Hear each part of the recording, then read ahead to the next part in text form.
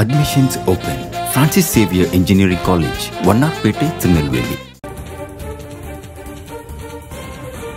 நெய்வேலியில் பாமக போராட்டத்தில் வன்முறை ஏற்பட்டதை அடுத்து டிஜிபி சங்கர் ஜிவால் போராட்டம் நடந்த இடத்திற்கு விரைகிறார். முன்னூற்றுக்கும் மேற்பட்டோர் கைது செய்யப்பட்டிருப்பதாக தகவல் வந்திருக்கிறது. போராட்டம் தற்பொழுது கட்டுக்குள் வந்திருப்பதாகவும் தெரிவித்திருக்கின்றனர். இந்நிலையில் அந்த இடத்திற்கு டிஜிபி சங்கர் ஜிவால் விரைகிறார்.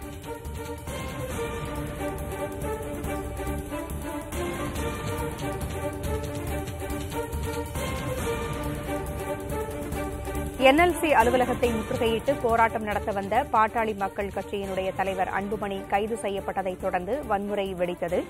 வன்முறை கலவரமாக மாறியது. கற்கள் மற்றும் கண்ணாடி பாட்டில்கள் வீசப்பட்டன. இந்நிலையில் தற்பொழுது கலவரமானது கட்டுக்குள் கொண்டுவரப்பட்டிருக்கிறது. போராட்டம் தற்பொழுது கட்டுப்படுத்தப்பட்டிருக்கிறது. இந்நிலையில் சம்பவ இடத்திற்கு டிஜிபி சங்கர் ஜிவால் விரைந்து கொண்டிருக்கிறார். சுமார் இருபத்தைந்து நிமிடங்கள் இந்த போராட்டம் நடைபெற்றது. இந்த போராட்டமானது தற்பொழுது கட்டுக்குள் கொண்டுவரப்பட்டிருப்பதாக டிஜிபி கூறியிருக்கிறார். கலவரத்தில் ஈடுபட்டவர்களை அடையாளம் காணும் பணி நடைபெற்று வருவதாகவும் அவர் கூறியிருக்கிறார்.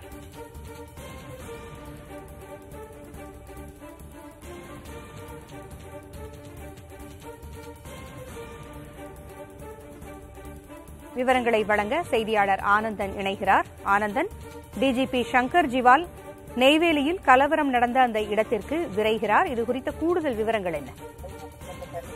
பூங்குழலி நெய்வேலியில் தொடர்ந்து பாமகவினர் போராட்டத்தில் ஈடுபட்டு வரக்கூடிய இந்த சூழ்நிலையில தொடர்ந்து போராட்டமானது கலவரமாக மாறி இருக்கக்கூடிய இந்த சூழ்நிலையில காவலர் பலருக்கு காயம் ஏற்பட்டிருக்கிறது. குறிப்பாக போராட்டக்காரருக்கும் காயம் ஏற்பட்டிருக்கிறது. இது தொடர்பாக நேரில் சென்று விசாரணை செய்வதற்காக தமிழ்நாடு காவல்துறை இயக்குநர் டிஜிபி சங்கர் சிவா அவர்கள் நேரடியாக போராட்டம் நடைபெறவிருக்கக்கூடிய சம்பவம் நடைபெறக்கூடிய இடத்திற்கு சென்று ஆய்வு செய்து அதனுடன் விசாரணையை உத்தரவிட இருக்கிறார்.